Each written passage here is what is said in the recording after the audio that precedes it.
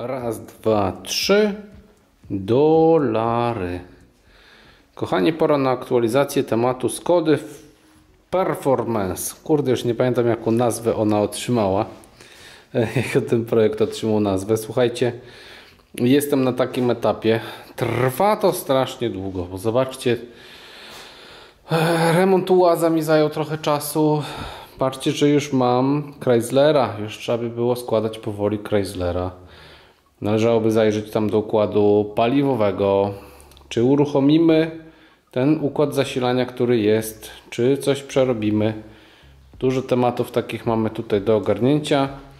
I z tą Skodą też się mocno wlecze. Słuchajcie, po kolei, jakie tutaj modyfikacje Chris zrobił. To pamiętacie na pewno, że wał otoczak odchudził. Zostało zrobione koło zamachowe, sprzęgło lekkie. Co ja zrobiłem tutaj?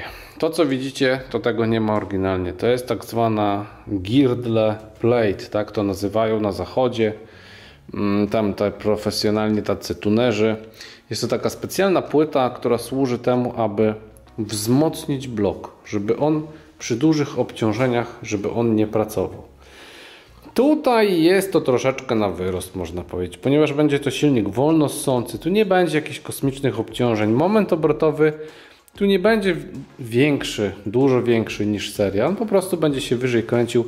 Być może ten moment obrotowy będzie miał wyżej, o ile to w ogóle będzie wszystko działało. Także mamy tu zrobioną taką płytę.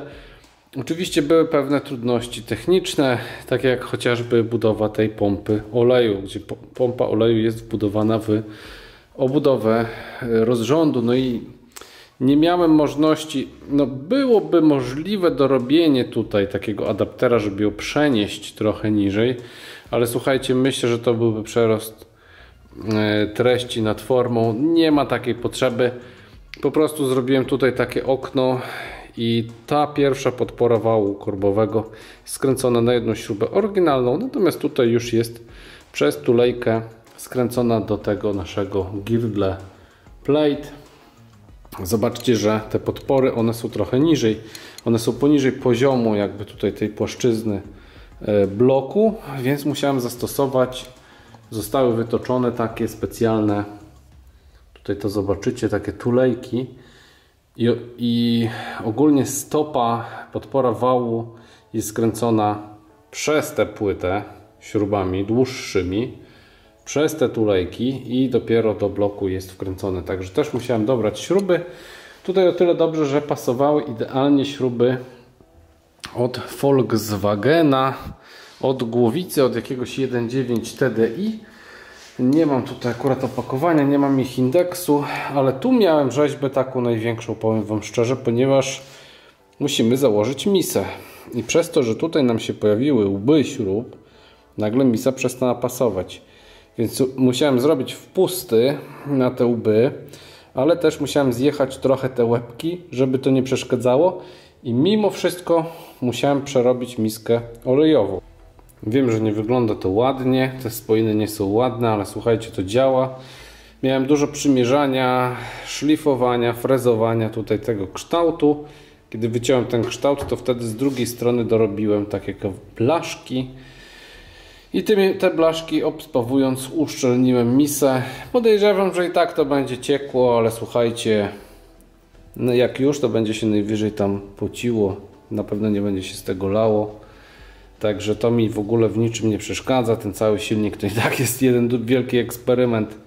Więc yy, nie walczę tutaj, nie robię na CNC, gdzieś nie dorabiam sobie misy, bo uważam, że to jest bez sensu.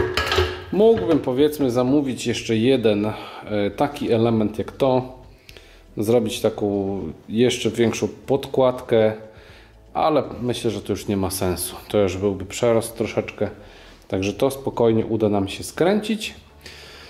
Co dalej? Korbowody, cylindry, tłoki, to jest wszystko z silnika 1.4, także tutaj mamy, wał korbowy też jest z silnika 1.4. Także mam tutaj zrobionego strokera w tym momencie z 1.3 na 1.4.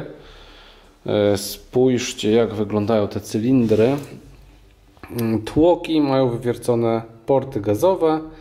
Cylindry założone no, z 1.4. Tu wszystko pasuje, są nowe uszczelki, podkładki, także cylindry delikatnie one wystają. Nie zobaczycie tego gołym okiem, ale one delikatnie wystają ponad płaszczyznę bloku, także wszystko jest zrobione, że tak powiem, w serii. I co więcej, teraz tak naprawdę, o tutaj wielkie dzięki, bo od jednego z Was widzów dostałem, ktoś miał gdzieś zestaw pompy, także to jest nowe, te dwa elementy, przyszła paczka, wrzuciłem od razu to do środka. E, I cóż, teraz jest etap taki, że składam pompę oleju, mocuję smok, smok mogę troszeczkę podgiąć, żeby był bliżej misy, ponieważ wiadomo, przez te, ile tutaj jest, tu jest jakieś 6 mm, nie wiem, czy mam gdzieś tu pod ręką, nie mam pod ręką teraz sufmiarki, to Wam nie zmierzę, ale jest około 6 mm. No naprawdę jak na ten blok, no to jest mega pancerne, zostanie skręcone dłuższymi śrubami, także no cóż, zobaczymy co z tego wyniknie. Ten silnik to jest ten wielki eksperyment. Zapytacie, co w sytuacji, kiedy kustomowe jakieś zakładam, takie śruby nieoryginalne, y, jakie tutaj stosować momenty? Słuchajcie, ja po prostu biorę, yy, biorę źródło, czyli to z czego jest ta śruba, patrzę jaki tam jest moment dokręcania i tak dokręcam. Myślę, że to jest słuszne, ewentualnie jak czuję, że coś jest za mało albo jest za mocno, to dodaję coś od siebie. Tutaj to normalnie z momenty dokręcania z silnika seryjnego i nic więcej tutaj nie, że tak powiem, nie, nie wymyślam.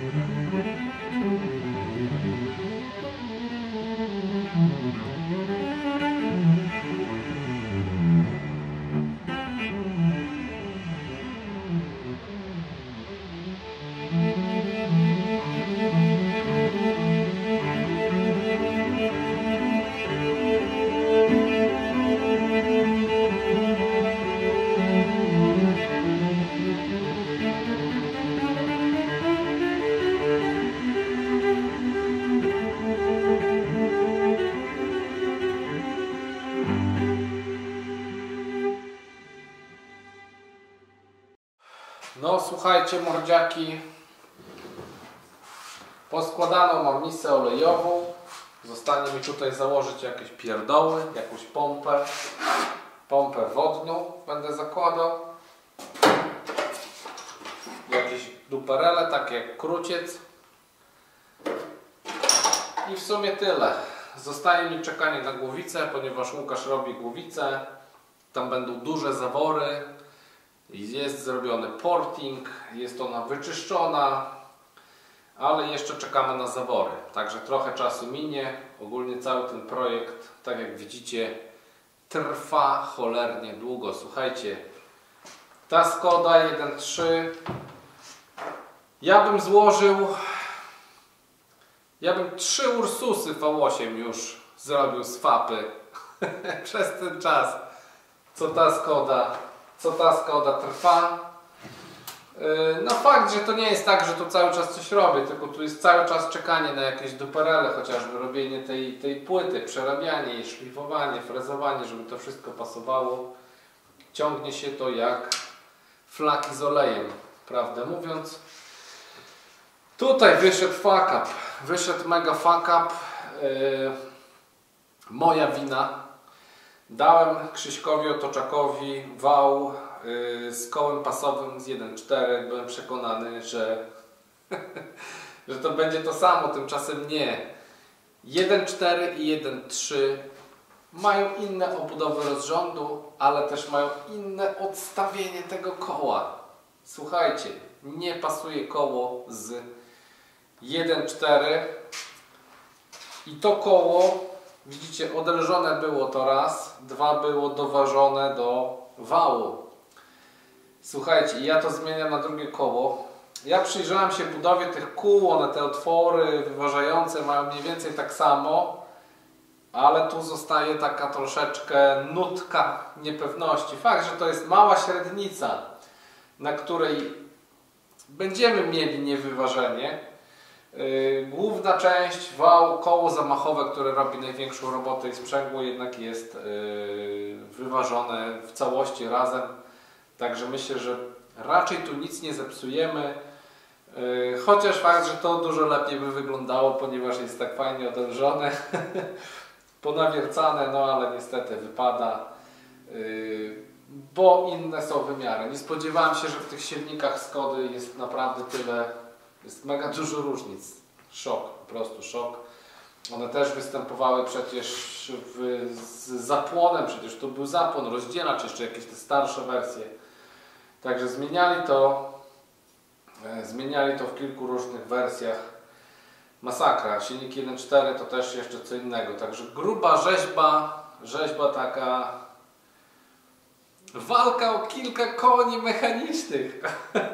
Powiem Wam szczerze, mnie ten projekt zaczyna wkurzać, bo jest masa czasu trwa, efektów nie widać, duże ryzyko, że gówno z tego wyjdzie, ale nic, walczę dalej i w kolejnych odcinkach będę Was informował dalej, co z projektem. Także macie tutaj taki update. Dziękuję za oglądanie. Trzymajcie kciuki, że cokolwiek z tego gównolitu wyjdzie i do zobaczyska. Narka.